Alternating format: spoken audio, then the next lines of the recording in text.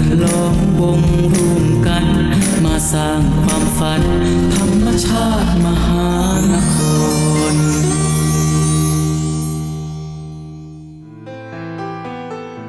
สนับสนุนโดย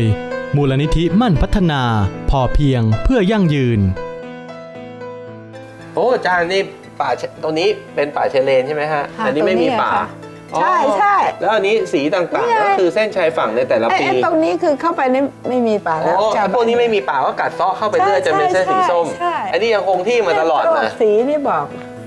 ปีไม่ให้ ถ้าอย่างนั้นเนี่ยเราก็เหมือนกับเราสรุปได้เลยนะว่าไอ้การกัดเซาะอืมของอ่าวไทยหรือของป่าชายเลนเนี่ยแถวแถวๆป่าเลนคือเกิดจากการทำลายป่าก็ใช่เป็นหลักไม่ใช่ว่าตะใช่กอนมาน้อยลงโลกร้อน ไอ้นั่นน้อยมาก น้อยมาก ปัจจัยเรื่องป่าเลนก็เป็นสำคัญที่สุดสำคัญมากเขาบอกตามธรรมชาติถึงได้บอกนะ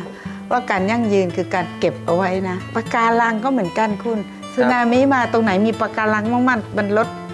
ทอนคลื่นเลยนะ แล้วเนี่ยเขามีการวิจัยแล้วว่า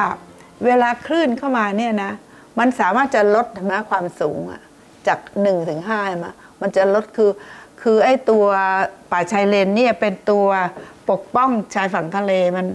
มันแอบสอบคลื่นอะความแรงของคลื่นแม้แต่สึนามินี่ก็ไปทำมาแล้วนะอุ้ยมันเข้าไป 200 เมตรนะพอเข้าไปอ้อมไปด้านหลังหาด มันเป็นป่าชายเลนนะ 50 เมตรมันบล็อกเอาไว้อยู่เลยอืมโอ้ยใครๆขอดัตต้ากันเนี่ยบอกนี่เป็นครั้งแรกที่บอกว่าป่าชายเลนเนี่ยนะปกป้องฝั่งทะเลจากคลื่นสึนามิซึ่งสูงมากได้ แล้วป่าชายเลน nun จะเห็นว่าในระบบmarine community ทั้งหลายป่าชายเลนเนี่ย productivity สูงสุดตั้งประมาณ 5,000เนี่ยนะฮะ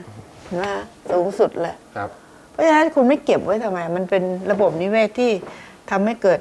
ความอุดมสมบูรณ์ของฝั่งทะเลบริเวณนั้นนะคือต้องอาจารย์ต้องจะใช้ธรรมชาติกลับมาป้องกันการใช่กัดเซาะชายหาดนี่ต้องมี ในหลวงรอเก้าท่านอะอ๋อมองการไกลมีอะทั้งปะการังมีทั้งป่าเลนท่านมีบอกเลยทั้งว่าป่ใช้ธรรมชาติช่วยธรรมชาติอืม เองอย่าไปเอาเงินหรือว่าเองอย่าไปเอาอ้ยมันเร็วดีสิ่งก่อสร้างห้าหกพันแสนล้านบาทเลยมันครับไม่ได้ช่วยอะไรเลยครับแต่ธรรมชาตินี่ก็ช่วยเขาเอง อย่างเช่นเป็นพวกไอ้ offshore bar นะมีปะการัง seagrass อะไรพวกนี้เห็นไหมอ่าแล้วก็พวก mangrove salt marsh พวกนี้เออแล้วก็พวกไอ้ต้นสนต้นปาล์มต้นอะไรทั้งหลายป่าชายหาดทั้งหลายเนี่ย ช่วยปกป้องอยู่แล้วเราอยู่แล้วตามธรรมชาติทุกบล็อกขก็องคือเราธรรมชาติครับ ใช่อาจารย์ใช่ครับนี่แม่เพราะฉะนั้นอย่างที่บอกว่าชายหาดทรายเนี่ยนะมันเป็นตัวปกป้องชายหาดเออที่ดียิ่งกว่าไอ้ทีกรอยออฟชอร์เบวอเตอร์ไอ้บ้าไอ้บอลเป็นหมื่นล้านแสนล้านเนี่ยเยอะเลย เนี่ยเราไม่ต้องไปทำอะไรเลย เมื่อไหร่ที่เราดำรงหาดทรายเอาไว้นะ เชื่อเหอะว่าเราจะไม่เกิดการกัดเซาะอย่างอย่างไม่มีวันกลับมาอีกอ๋อในหลวงท่านก็ว่าไว้แล้วว่า ใช้ธรรมชาติช่วยธรรมชาติ แล้วตอนที่เกิดพายุไอโคเซิร์ตเนี่ยเราไปสำรวจอืมเพชรบุรีถึงนาราธิวาสเลยนะ หาดไหนที่ธรรมชาตินะ มันพังน้อยมากเลย แล้วก็มันมีวิแววว่าอีกหน่อยมันจะฟื้นตัวมากลับไปดูอีกอีกสองสามปีหลังมันฟื้นตัวแล้วนะ แต่หาดไหนที่คุณไปสร้าง seawall สร้าง hard structure ทั้งหลายนะถาวรเลย มันพังระเนระนาดแล้วโอกาสที่จะฟื้นตัวเนี้ย ไม่มีละครับอาจารย์ครับขอบคุณอาจารย์มากครับวันนี้มาคุยกับนักวิชาการอาวุโสครับอาวุโสที่สุดในเรื่องของ Oceanography ซึ่ง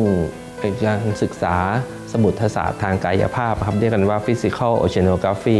ผมก็เชื่ออย่างยิ่งว่าวิชาเนี้ยในประเทศไทยคงไม่มีใครรู้จักอะครับ แล้วก็เท่าที่ผมทราบมาก็มีอาจารย์อับสรสุดาสิริพงศ์เนี่ยนะครับ สอนอยู่ที่ภาควิชาวิทยาศาสตร์จุฬามาเป็นอาจารย์รุ่นแรกๆอะครับ แล้วก็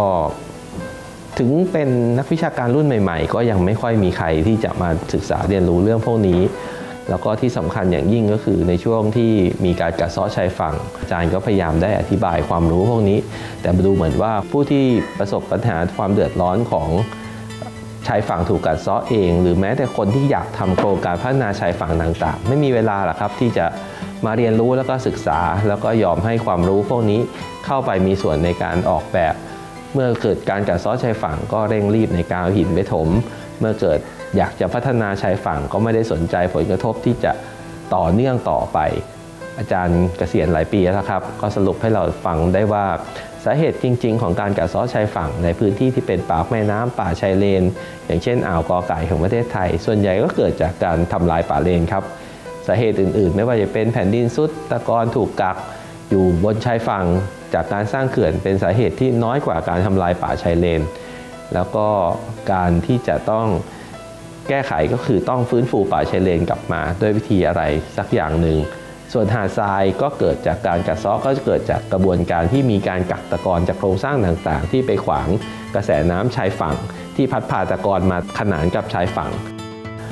แล้วก็เกิดการกระเซาะต่อเนื่องไป หรือว่าเกิดการสร้างกำแพงกำแพงทะเล ซึ่งอาจารย์ก็บอกว่าอันนี้แหละครับคือความตายของชายหาดเลยคือการสิ้นสุดหาดทราย แล้วก็ทำที่ไหนก็จะต้องเกิดการกัดเซาะต่อเนื่อง แล้วก็เกิดการ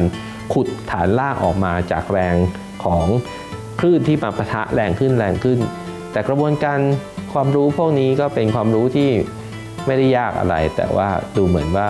ประเทศไทยจะไม่มีใครพร้อมที่จะรับฟัง แล้วก็ทำให้การแก้ไขปัญหาการซ้อชายฝั่ง เป็นไปในทิศทางที่ไม่น่าจะมีอนาคตที่จะรักษาธรรมชาติไว้ได้เท่าไหร่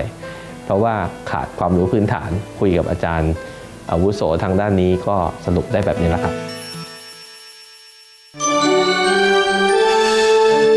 News 18